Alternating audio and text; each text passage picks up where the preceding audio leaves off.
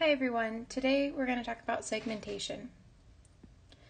So the goals of today, we're going to talk about what is segmentation, uh, what's a segmentation fault, how does uh, segmentation compare to paging, and then a little bit about um, the Intel Pentium processor and how it kind of m- meshes the two uh, together. So first, just a quick review on paging from the last video or video, a couple videos before. Uh, so paging, we had our logical memory, and this is again, you know, all of our um, processes would all be kind of stored, all the references would be stored in this logical memory, or there would be an entry for each one. And we divided this into pages. And these pages were a fixed length. So this had, you know, maybe we had um, a 4 uh, KB page, and that means that each that each one of these sections were the same size.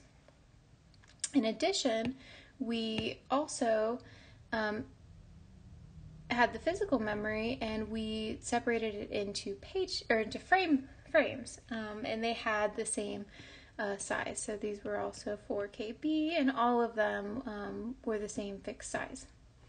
And this had some advantages, right? So we have our page pages, and we have the page table that kind of translates where they are actually in physical memory. But that aside, we have pages that we can directly put into a frame and we know it's the same size. So we limit internal fragmentation. So we don't completely get rid of it, and I'll talk about why uh, later on in this lecture. But we limit it to the point where it's almost practically gone. Um, so that that was the whole idea behind paging. So we have our fixed size pages that we can load into um, our physical memory into our frames that are the same size.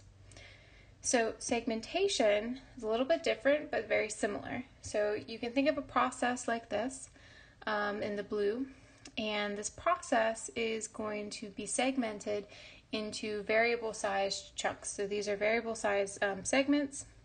So all of these here are segments, and um, so we'll talk about on the next slide kind of how um, how you might fragment like a C, C code. But in, this is just in general what you might you know you may put your your main program into a different segment. Uh, the stack and maybe the heap is in a different segment. Any calls to libraries might be in a different segment. Um, and this now uh, will become kind of a, a, equivalent to the pages that we talked about before. So they won't be in these fixed size pages, but they'll be in these variable size segments. And these segments, again, they don't have to be loaded into contiguous memory, so we still have all the advantages of paging. Uh, now, the address is going to look a little different. So before we had um, an address that looked like this, that we had um, the page number that would allow us to go into the page table and then we had an offset that would let us figure out where in the actual page itself we were. So it's going to be similar. So we're going to have, um, I don't know, uh, I'll say S, and this is going to be the um, segment number, and there's going to be a segment table um, to seg table. And then uh, we're also going to have uh, an offset. So I'll call that D again, and this is our offset into the segment itself. Okay, so very similar, just different um, different name for it really, and, and this idea that it's in variable sizes, not this fixed size. So um, an example of how you how this would happen in maybe a C program I don't know, you may have a one segment that contains, you might segment off all of your global variables.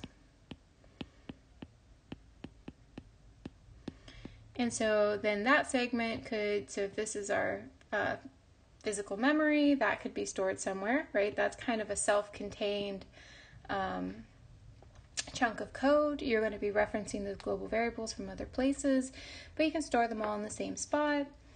Um, you might, all of your data elements that are, you know, pointers that are implemented onto the heap, um, heap data, you might store that in a different spot in memory. So you might have your heap here, And then you might have your main code, um, in a different spot, so your main, uh, so on and so forth. So it can be kind of fragmented this way.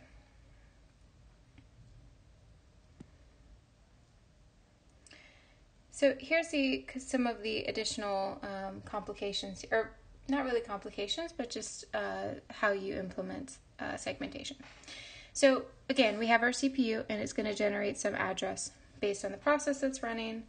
Um, and this address now I showed you is now going to have this S and D, and S is going to be what allows you to look up into what's called the segment table of where this address, what segment this address comes from. So now from here, so you know which segment you're in, and now you need to check the offset. Um, so here, then, well, actually, we'll talk about the offset on the next one. Inside the segment table, the what's going to be stored is a limit and a base. So the base is going to be where that segment starts in um, in memory. So here, maybe we have that this starts at uh, 1000. So the this is the base address, so we'll call this the base. And then the limit, so this is the starting address in main memory. And the limit is going to be how many bits past this is uh, within the uh, segment still. So I don't know, we'll say, we'll just say the limit equals 1500. So now our ending address will be 2500, right? Where this here is the limit. Okay? So limit is um, marks the end of space allotted for seg. Okay, so that's the limit and base. It's a pretty simple concept, um, but this leads us into, um, well, okay, actually leads us into example. Here we go. I made these and I'm still surprised at what's next. Okay, so uh, here's an example with some more concrete numbers, although I tried to give you concrete numbers before. So imagine this is our lo um, logical address space, and we um, have this as our segment table. So segment zero, which is our subroutine segment here. Let me erase that. Um, just underline it. Has a limit or a base of 1400. So see that it starts at 1400 and it has a limit of a thousand. So in between here is going to be the limit, and this is going to be a thousand. Um, so whenever an address is generated that indexes into the zeroth spot in the segment table, we know that its address in physical memory is going to be the base plus whatever the offset is, as long as the offset is within this plus 1000. So this leads us into talking about segmentation faults. This part of the logic here is what checks for that. So this part of the logic is what says, okay, so I already have my S and I'm in my segment table. So I found my base and my limit. And before I go and index into uh, my physical memory, I want to make sure that this offset here is within the space allotted. So I need to make sure that this is less than um, the actual limit. So that's this logic here. So I check this, and if it's yes, great. Now I've found my spot in physical memory. Great. Um, if not, so if no, then I get this trap. And this trap is a segmentation fault. So I know you guys have seen these before. I know you've gotten them. And so let's think about what this actually means. So what we just talked about. So that means that we the CPU generated an address here that was supposed to belong to some segment, so it does its lookup in here, and it has a segment, so we'll say it's it's code. So it's part of your code. Um, so it's in the code segment. So it finds its segment in the segment table, but then it checks to see if this offset is actually within um, that limit. And it finds that it is not, and so it uh, causes an interrupt. And the specific interrupt is called a segmentation fault. So this means usually, so usually when you get a segmentation fault, it means that you're accessing memory that doesn't belong to you. So you're stepping outside of an array that you probably made with a pointer. Um, so that's kind of what happens with a segmentation fault. So now you know a little bit more. So some um, advantages, disadvantages to paging and segmentation, or versus segmentation. So um, some of the big ones that I wanted to highlight here, I'll let you, you can pause the video now and you can kind of read through these if you'd like. But, um, so size is the biggest one, right? So page size is fixed when you're doing paging. Paging and frame size is fixed. But in segmentation, the actual segments is um, determined by the user, um, kind of well, not kind of. It depends on your program and how much code you're writing and, and what library calls that you make. Um, so the size is variable. Um, and also, I wanted to point out accountability. So in paging, the operating system is actually the one that divides the memory into pages. But in segmentation, it's the compiler that's responsible um, to calculate the segment size. Um, so if you take compiler um, you'll talk a great deal about this, about how things are, how your code is actually segmented into different um, sections, and how you know the, the compiler checks to make sure that all of your code is correct. But as part of it, it will it will move it into segments. Um, some other things to mention. So we've got speed. Uh, paging's faster. Um, so you got smaller chunks of memory. It's it's it's just faster. Um, and then fragmentation is what I said I'd talk about later. So um, in here, so paging can cause internal fragmentation.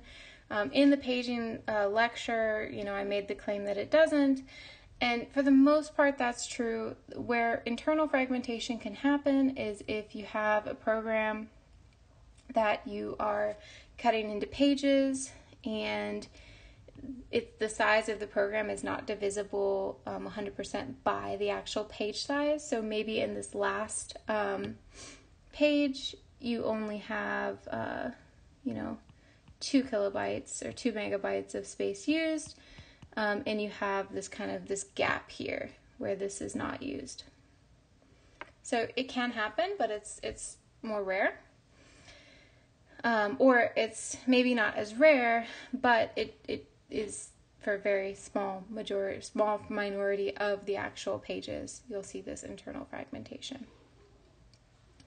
Um, in segmentation, this can cause um, external segmentation because, again, we're using this variable size, so you have to find places free in memory, in main memory, um, to put these. And so if you start filling up your main memory, like we saw in contiguous memory allocation. So you fill up something here, fill up something here. The next thing to come in may be this size, and it may not fit there. And it definitely won't fit there. So now um, you have this external um, fragmentation. Um, so I'll let you read through the rest of these. Those are the big ones to mention. Um, so then a little bit about the Intel Pentium processor. So it just it uses actually both segmentation and paging. So it has a segmentation unit um, here. So you have your logical addresses generated. You have your segmentation unit um, that kind of segments it into different, or it, it houses um, different segments. It has a segment table that you can do a lookup on. Um, but then you from that, you'll generate your linear address, and then you can go into the paging unit, and then finally into physical memory. So, some operating systems utilize this heavily. So, Intel Pentium allows for it. So, some OSs actually use this, uh, but some don't as much. So, the Linux kernel actually uses the segmentation very minimally. So, it will segment out some things, but for the most part, it will kind of bypass the segmentation unit and just use and heavily use the paging unit um, for its uh, memory management. So at this point, I'd like to ask if you have any questions, please let me know um, if I can clarify anything, and uh, thank you.